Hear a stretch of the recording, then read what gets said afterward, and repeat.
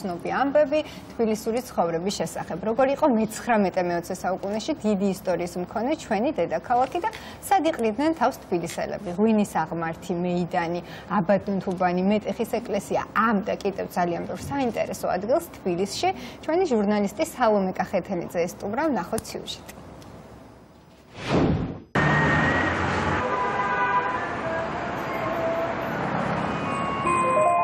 თბილისი დღეს ხმაურით, აჩქარებული ცხოვრების ტემპითა და ხშირად შეჩერებული საგზაო მოძრაობით ხასიათდება. მართალია საუკუნეების წინაც ეს ქალაქი ასეთივე მრავალეთნიკური იყო, თუმცა გაცილებით ნაკლები მოსახლეობითა და მეტი სიმშვიდით. დროთა განმავლობაში თბილისი იზრდებოდა, მას არაერთ პრობლემასთან გამკლავება უხდებოდა, თუმცა დიდარი კულტურული მემკვიდრეობა ქალაქმა მაინც შეინარჩუნა. სწორედ ამაზე გესაუბრებით დღეს და თბილისის ქუჩებში მე-19-მე-20 საუკუნის ეპოქას გავაცოცხლებთ. სად არის კიდევცა უძიროდ ლურჯი ხალასი სწორედ ისეთი როგორც შენია ჩემი თანამგზავრი იქნება ძველი თბილისის მკვლევარი გიორგი ჭეიშვილი, დილომ შვიდობის გიორგი. მარშრუტს ვიწყებთ სირაჯხანიდან, ყოფილი სირაჯხანიდან, დღევანდელი ღვინის აღმართიდან.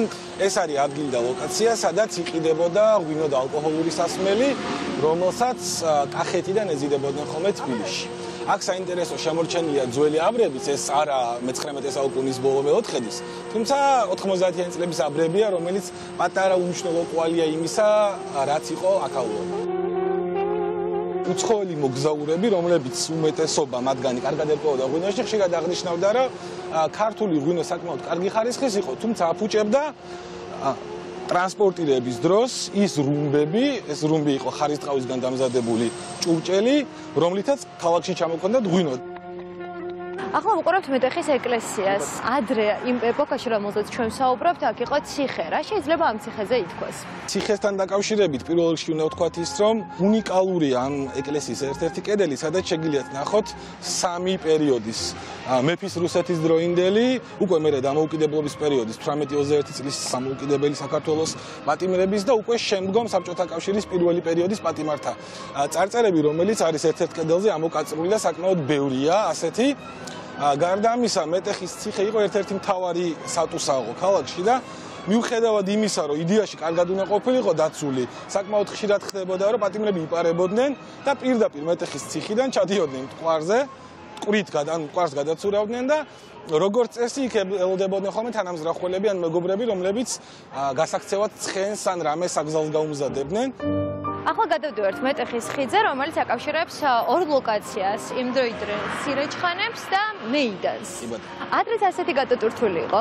ბუნებრივია, იმიტომ რომ ეს იყო ერთ-ერთი ცენტრალური ღერძი ქალაქისთვის. ალბათ შეხვდებით საღამოობით აგავლელები მეთევზეებს, რომლებიც ცდილობენ ხოლმე, რომ თევზი დაიჭირონ და როგორი უცნაურადაც არ უნდა ჟღერდეს დღეს ეს ჩვენთვის, რატომღაც დაუწყებული გვაქვს თითქოს თევზი იყო ერთ-ერთი მთავარი საკვები, რომელსაც თბილისელები მოიხმარდნენ. ერთ-ერთ სტატიაში, ფელეტონში, საგაზეთოში ისიც კი წერია, რომ თევზი ისეთივე მნიშვნელობისა, როგორც პური ჩვენი არსობის. ცნობილი ამბავია, რომ გრიგოლ ორბელიანი მაგალითად დიდი მოყვარული იყო მისივე მეგობრის მეთევზე, მეჩანგლე ლოპიანას, ორთაჭალურად შემზადებული თევზის გადმოვინაცვლეთ მეიდანზე, რომელიც თანამედროვე რეალობაში ყველაზე მეტად აცოცხლებს თითქოს შორეულ წარსულს. ეს ადგილი მე-19 საუკუნიდან ცნობილი იყო ბაზრით. ეს იყო არამხოლოდ თბილისის გუბერნიის, არამედ მთელი ამიერკავკასიის ცენტრალური სავაჭრო უბანი და ადგილი ასე რომ ვთქვათ, სადაც თავის დროზე იმ პერიოდში რომელზეც ვსაუბრობთ აღმართული იყო სასტორი. ამ სასტორზე იყო დროშა, რაც რომელსაც თქვენ საკმაოდ საინტერესო დატვირთვა. იქიდან გამომდინარე, რომ თბილისში სხვადასხვა სოფლებიდან მომავალი გლეხები საკუთარ პროდუქციას აკასაღებდნენ ხოლმე თბილისელმა ჩარჭვაჭრებმა, ანუ გადამყიდველებმა, ვინც გლეხებისგან იაფაჩეძენილი პროდუქციის ფასნამატი ცდილობდა გამდიდრებას, შეისწავლეს ეს გზები და კარგად იცოდნენ საიდან მოდიოდნენ გლეხები, ისინი ხვდებოდნენ ქალაქის შემოსასვლელში და ყიდულობდნენ გლეხებისგან თელ პროდუქციას, შემდეგ კი აქ მოდიოდნენ და აქ ყიდნენ, რითიც ბუნებრივია ზარალდებოდა ქალაქის მოსახლეობა. ამიტომ ქალაქის გამგეობა მიიღო ესეთი გადაწყვეტილება, რომ ამ მოედანზე, აღმართულ ყაფანზე, რომელიც იყო სასტორი, იყო ეს დროშა და დროშა იყო აღმართული შუადღის 12 საათამდე. რაც იმის მანიშნებელი იყო, რომ ამ დროს დაცვა გამოცლა, ანუ ვაჭრობა ხდებოდა მხოლოდ და მხოლოდ გლეხებსა და ქალაქის მოსახლეობას შორის. თუმცა უმეტეს შემთხვევაში ისე ხდებოდა, რომ ჩარჩები ახერხებდნენ თავის გლეხად გასაღებას, ხან სამოს შეიცვლიდნენ და გადაიცვამდნენ, ან მეორე ვარიანტი იყო ხოლმე, რომ გლეხებისგან პროდუქციას წინასწარ დაიბევებდნენ და შემდეგ ეს გლეხი უკვე ვეღარაფერს ვეღარ ყიდა. ვარ ტერიტორიაზე, სადაც ერთ-ერთ ბაზარს ერქვა შაითან ბაზარი, ეშმაკის ბაზარი, რაც მეტყველებს არა მხოლოდ იმაზე, თუ როგორები იყვნენ თბილისელი ვაჭრები და გადამყიდველები, არამედ იმაზე, თუ რა ეშმაკობებით და ხრიკებით ხდებოდა ხოლმე მოსახლეობის გატყავება. თბილისის ერთ-ერთ ყველაზე ძველ უბანში, აბანოთ უბანში მოვედით. ამ ადგილს ძალიან ბევრი უცხოელი თუ ადგილობრივი დამთვალიერებელი სტუმრობდა და გარდა იმისა, რომ აქ აბანოებია, კიდევ რითი არის ეს ტერიტორია ცნობილი. საინტერესოა, რომ აბანოთ უბანს ხშირად უკავშირებენ საერთოდ თბილისის დაარსებას ამ ტერიტორიას და რატომ?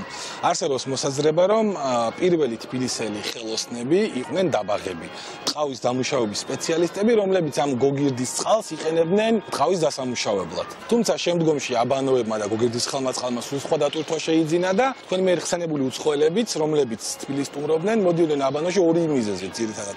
ერთი იყო ის, რომ საქვეყნო ცნობილი იყო თბილისური აბანოები და მეორე ის, რომ აქ მუშაობდნენ სხეულის გაახლების ქურუმები, თბილისელი მექისები. ალექსანდრე დიუმა ამბობს, რომ ქისის შემდეგ ისეთი შეგრძნება დამეუფლა, რომ შიშველი ხელებით მთელ კავკასიას აუწევდი.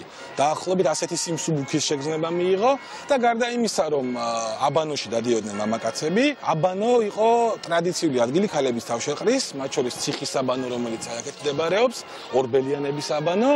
ქალებს ქონათ გამოყოფილი ერთი სპეციალური დღე, როდესაც მხოლოდ და მხოლოდ ქალები მოდიოდნენ აბანოში. გართობის გარდა ქალებისთვის აბანო იყო ადგილი, სადაც მიქონდათ სარეცხიც, ასევე. კარგი პარტია შეიძლებოდა შეერჩია მაჭანკალსაც, პოტენციურ დედამთილსაც და ამის შემდეგ ხდებოდა უკვე გაძრომა გამოძრომა, რომელიც უკავშირდებოდა მზითებს, მზითვის მოგვარებას და ასეთ ამბებს. ჩვენი მცირე ისტორიული რაკურსი სრულდება ორთეჭალის კუნძულით. სწორედ ეს ადგილი იყო იმდროინდელი ქართული ხელოვანებისთვის თბილისური მოტივებით შექმნილი ლექსებისა და სიმღერების მთავარი ინსპირაცია. ორთაჭალის კუნძული სამწუხაროდ აღარ არსებობს, თუმცა შემორჩა როგორც ურბანულ მეხსიერებას, ასევე იმ ადამიანების მოგონებებში, რომლებიც საკმაოდ საინტერესო ამბებს წერდნენ ამ კუნძულზე. ეს კუნძული იყო დროსტარების და გართობის ერთ-ერთი საყვარელი ადგილი თბილისელებისთვის. და ეს ადგილი იყო თბილისელის სექსმუშაკების ერთ-ერთი თავშეყრის ადგილიც იმ მარტივი მიზეზის გამო, რომ საკმაოდ დიდი კონცენტრაცია დროსტარების მოყვარულ თბილისელთა ხდებოდა სწორედ ორთაჭალის კუნძულზე. და ეგრეთ წოდებულ ტურფებზე, ხო? კი ბატონო. ორთაჭალის კუნძულს რა ბედი ეწია? თავის დროზე, როდესაც თქვარი ბეტონის არტახებში მოაქციეს კუნძული, ისევე როგორც მადათოვის კუნძული დაკარგა ქალაქმა, ინფორმით, რაფორმითაც იყო და ის მოგონებებიც, რაც ორთაჭალის კუნძულს უკავშირდება, გაქრა ისე რომ მათ შესახებ მოგონებები მხოლოდ პოეზიაში, პროზაში ან ამა თუ იმ ადამიანის მოგონებაში თუ ძველ ქართულ პრესაში გვხვდება. შეგიძლია მქონდა რომ მე-19 საუკუნის დროინდელ ძველი თბილისის ქუჩებში დავდიოდი. ძალიან საინტერესო იყო იმ ისტორიის გაგება, იმ შინაარსის მოსმენა, რაც დღეს შენ გაგვიზიარე. დიდი მადლობა. მადლობა თქვენ.